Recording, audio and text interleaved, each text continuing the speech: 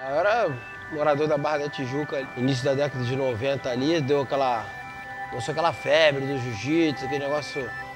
Era criança ainda, isso aí tinha entre 10, 12 anos de idade. E toda criança tinha aquela vontade de, fazer, de conhecer o jiu-jitsu, né?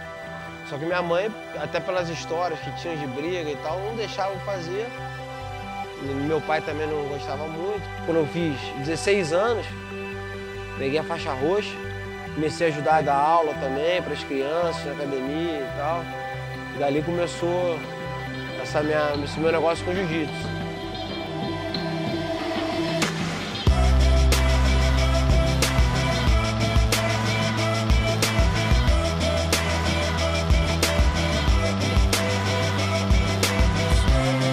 aqui em São Paulo, na minha academia.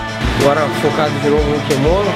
Treinando junto com a minha equipe aqui, me preparando para o Mundial 2016.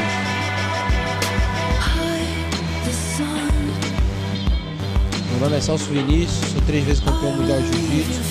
Estou aqui treinando firme para tentar o quarto título mundial na faixa preta.